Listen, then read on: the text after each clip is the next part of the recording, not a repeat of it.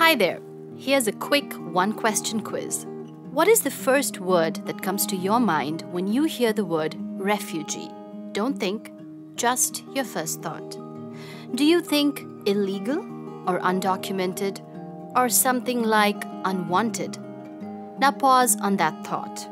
All these words have a negative connotation to them. Why have we categorized some humans as illegal? Ever thought about that? These are people who fled their homeland in the face of conflict and war, fearing for their lives. Or do we think of them as illegal because they don't have any documentation? And can we actually do something about that? You are listening to News and Views, and in this episode, we ask how some lives have become so invisible that we don't even grant them the basic right to a secure life.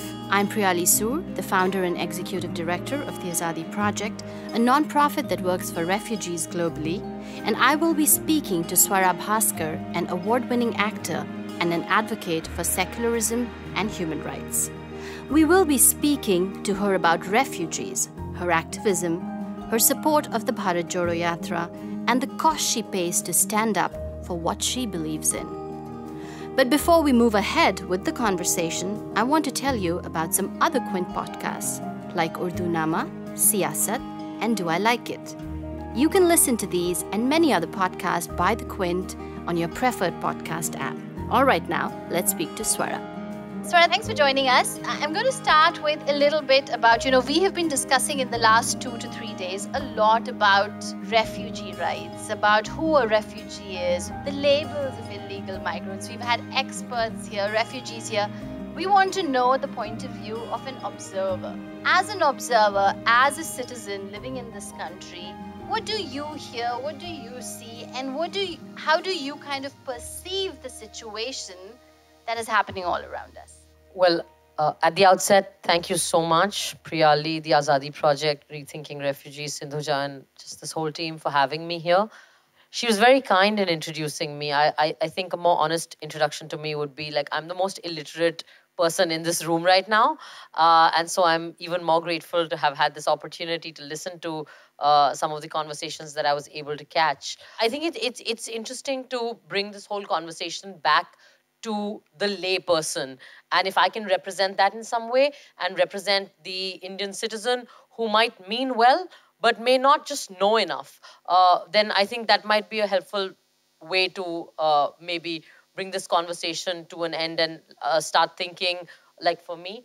I think that uh, what struck me while I was listening to some of the speakers speak is that I was thinking about when did I, as a person, learn about the term refugee? Like, how does a child living in India eh, in these past three, three and a half decades, how do we learn about refugees? And the only thing you really learn is from uh, your textbooks when you're studying some or the other war in history class which you are looking to bunk because you're bored and and so it you're really learning about the issue in a very um, sort of dry way where there's text and there's dates and there's numbers of people but there's no real human beings or human stories behind it.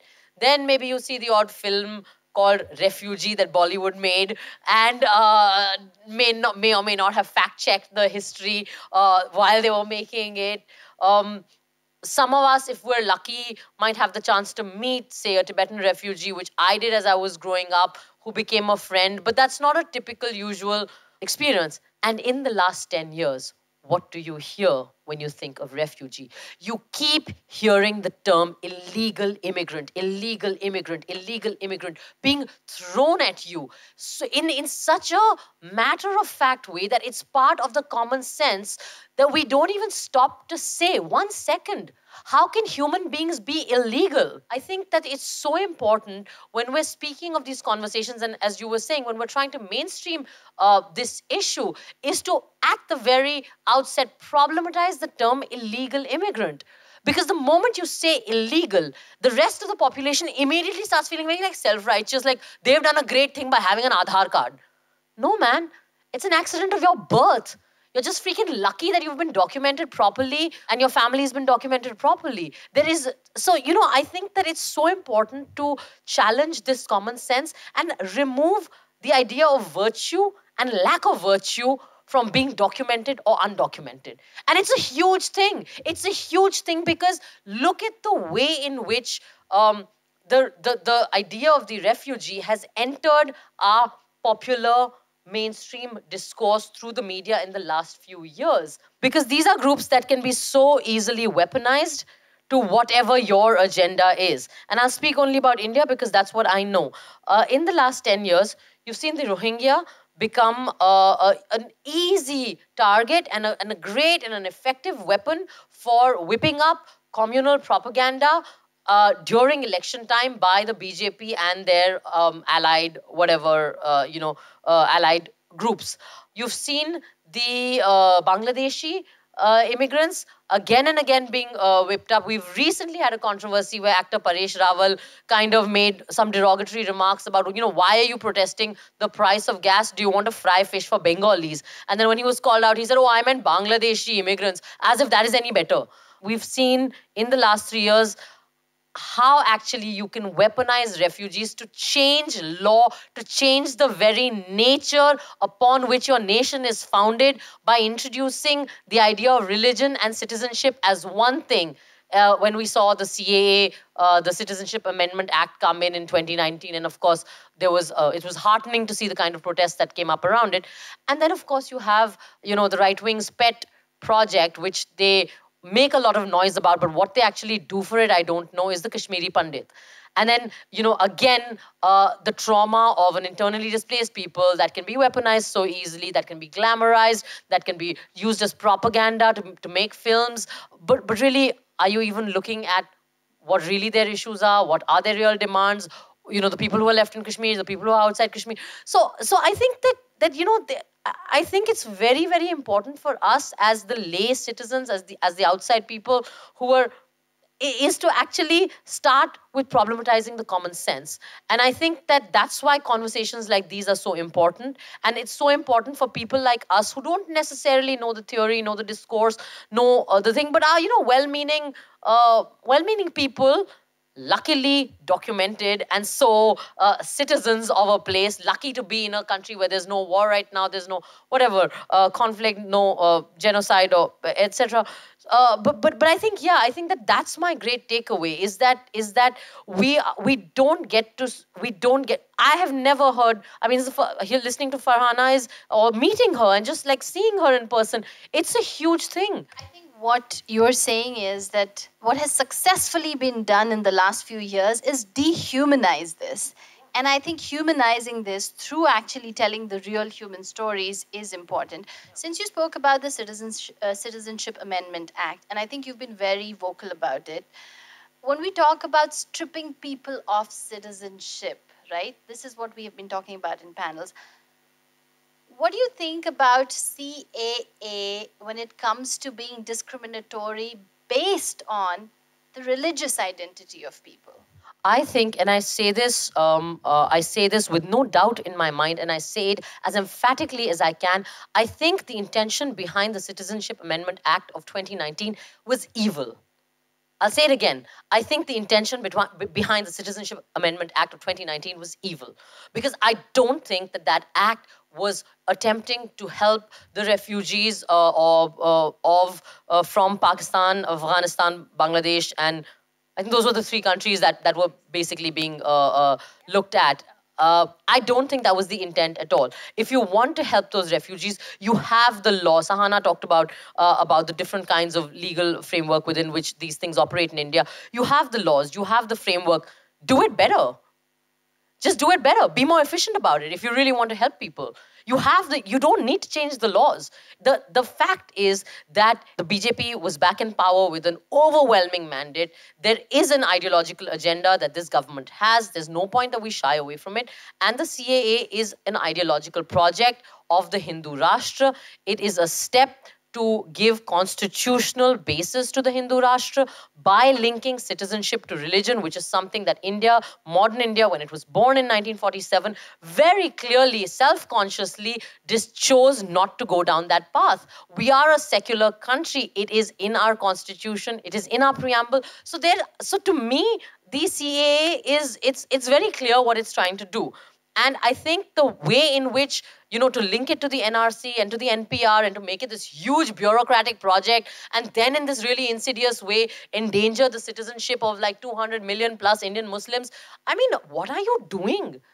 like honestly like really i mean it's it's a it's a bad idea it's evil it, it, ethically morally it's evil it is bureaucratically a nightmare it's a really bad idea you've seen the project the nrc and the kind of um, hassles and problems it's thrown up in assam when the number of people who got left out and so on oh, what are you doing? Like, honestly, like, you just have to stop at that minute and say, what are you doing? And I think just to bring it back to this conversation where I'm talking about mainstream, I think what was great with the CANRC is because it affected so many Indian citizens, is that we cared about it and we mainstreamed that conversation and we got on the streets and we did something about it. Do you think it further polarized people as well? People getting polarized in in the context of India today, when you have a when you have a dominant political power that feeds off polarization, when polarization is politically profitable to the people in power, you're not going to be able to escape polarization. I don't think we should be scared of polarization because it's happening anyway. I think what we have to do is to challenge polarization at every step, to call it out, and to, to really relentlessly be doing whatever we can do at the personal level, at the interpersonal level, at like every time we meet a new person, or in communities, in groups, in conversations like this on our social media is to kind of keep challenging that polarization. Um, so, yeah, I, I don't think we should be scared of polarization anymore because it'll happen anyway. I think what we need to do is make more people see refugees as, as human beings, which is what which is really what this whole conversation is about. And and also, I think we have to start questioning this idea that people's lives matter and that people have the right to existence and the people have the right to dignified human life only if they belong to a nation or only if they are documented citizens of a nation. That's not that's just that's that's not okay. Even if you believe that that's not okay. Like if, we, if this is what we, we think we have to change how we think about this. It nation states are creations of history of politics of particular whatever people have existed forever and ever and ever, and people have the right to exist because they are born. It's as simple as that. I mean, I think you've said it exactly the way it should be said. It is a social political construct, basically, and people have existed forever. And I think the fact that people say that first let's help our people and then let's think about helping others is just an extremely non inclusive approach. But Swara, you talk about, like, you know, said, call it out, call it out, call it out. Do you ever get scared? Are you threatened? How does it impact you? Uh, let's talk about emotionally first, about you personally, and then let's talk about how does it impact your work.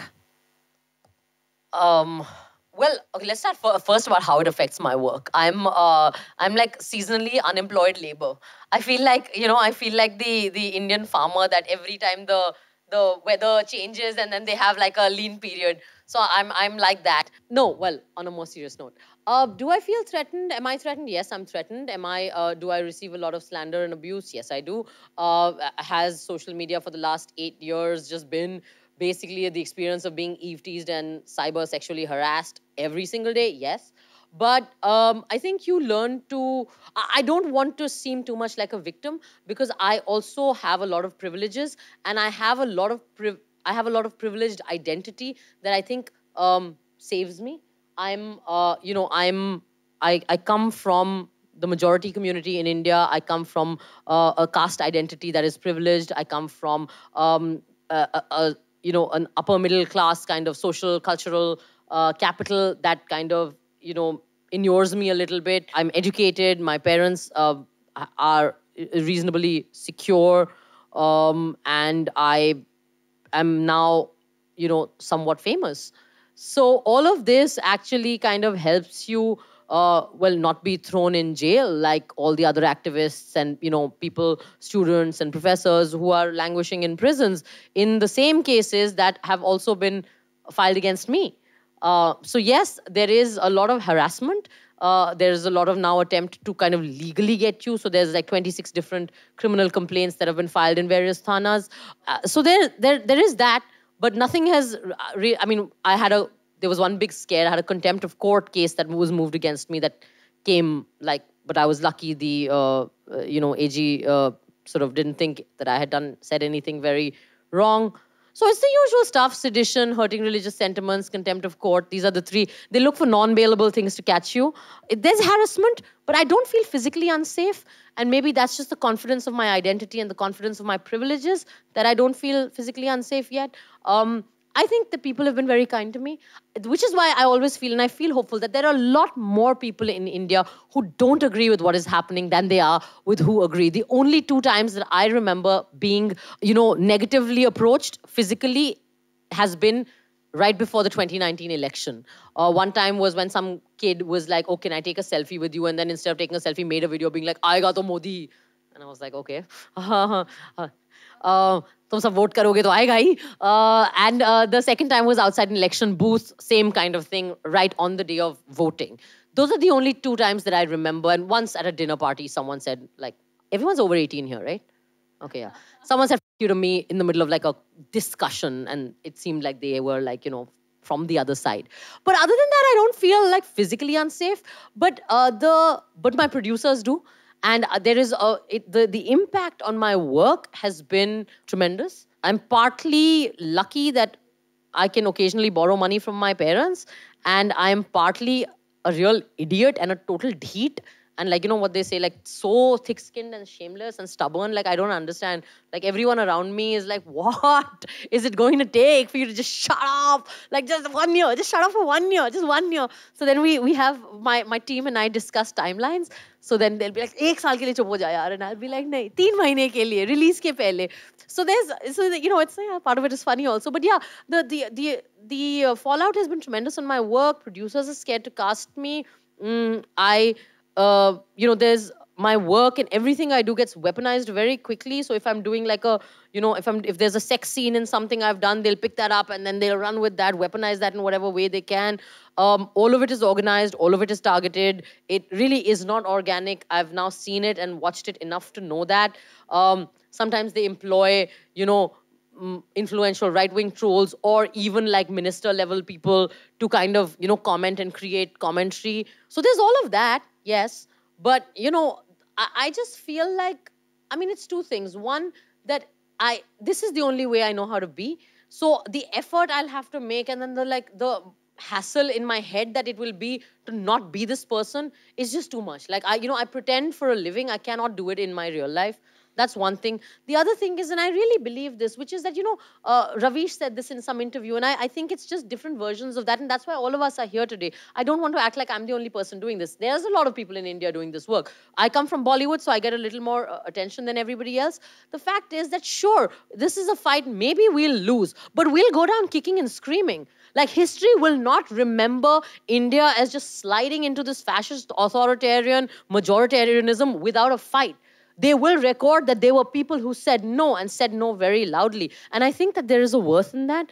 And then the other thing is, I also feel just personally, uh, and this is just coming from where I come from, I think it's hubris to imagine that your country will go to the dogs and to go go to trash, and you will magically be unaffected by it. I mean, what does that mean? That means you don't even live in this country if you're not affected by it. So really, I mean, it's fine. It's colla- you know, uh, it's it's collateral collateral historical damage. But I have a lot of hope because as I said, I really firmly believe that there are more people who don't agree with them than there are who agree with them. It's just that all of us just need to find a way to keep reaching out to each other and keep talking to each other and, and keep that up. And it's tiring. It's really tiring. So we have to find a way to take breaks and then come back and then take breaks and come back because it's relentless, but that's fine. Totally hear you on that. Um, I want to know how does a seasonally employed and a seasonally unemployed Swara deal with the many cases against her? Do you have a pro bono lawyer system going on for you? I have, I have, I have, uh, I, I, I, I, I don't know why I have, but I have criminal lawyers on speed dial. Is what I have. Uh, yes, I have very kind people who have been so far. Uh, I think I've only had to pay for one thing, uh, but they've been very kind, and I get a lot of free legal advice. And I'm always cultivating lawyers uh, as friends. That's why, because I have an ulterior agenda in being friends with lawyers. But I'm lucky. I'm very lucky. I think that uh, I've got as much support and as much solidarity and as much strength from people as I have had uh, abuse and slander and cases and all. So I actually feel quite blessed, and I think that this whole this whole period has been it's it's a it's a bittersweet thing. I'm I'm happy for the battle, uh, and I'm uh, and I think that if you lose a little bit of work and you're, you're a little famous, but if you make some really strong, if you meet some really good people who are inspiring, whose work inspires you, if you make some good friends, and if you have some strong solidarity networks, then it's worth it. Swara, I have to ask you that I think it's great that you kind of voice out these opinions and you talk about this and you advocate for this. We definitely need that. But on a, on a level of policy change, the next step is that we need good policymakers. We need policymakers who can effectively bring about this change. We all saw you marching alongside Rahul Gandhi in the Bharat Jodo Yatra, and you talking very emphatically, passionately about it. Do you ever think that you're going to enter politics? Now, I feel like at this moment the question is will you be thrown out of the film industry and then have to just get into politics because you need something to do? Uh, I yeah, I mean I don't know because I, I mean well one thing well never say never. Let's start there. So don't hold me to whatever I say right now. But I do feel that politics is not just electoral politics. Like, that's a very limited way of looking at politics. What we're doing here is politics. Um, enabling uh, or, or, giving uh, Farhana a platform is a certain kind of politics, especially at a time like this. Um, Tenzin sitting here has spent his whole life. Uh, I don't think you've ever done electoral politics, but that's politics right there. So for me, uh, I think advocacy is a huge part of politics. Uh, and and and really we always forget that our our freedom is born from not from electoral politics. Our freedom is born from advocacy based politics. Uh, there is in my mind no greater politician than mahatma gandhi. And and he was a strategic man. He was a very shrewd man. He was a shrewd politician and he never he never stood for elections uh, and, and and held political position um, and so I, I feel like i feel like we have we desperately need political education amongst ourselves in india today and i, I think that definitely that's the kind of politics i would like to do and continue doing which is why I said we, we need the next level. We need the policy makers to be uh, bringing those changes, right? But I absolutely agree that the things that we are doing now and the things that you are doing now are not uh, not distinct from politics. They are pretty much in harmony with that. Is there, you said you are a loudspeaker. I'm quoting you. Uh, is there anything that scares Swara that she does not want to talk about? That she kind of thinks that this is a territory that I don't want to kind of enter because this may be something that can be more uh, damaging personally, professionally, emotionally?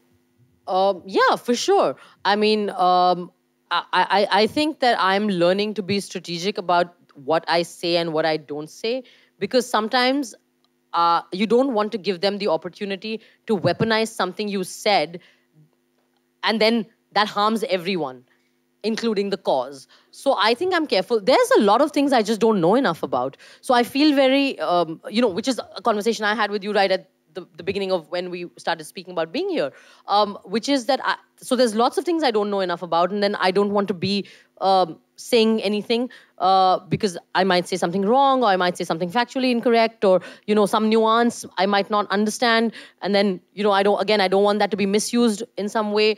Um, I um, yeah, so I, I think I'm careful.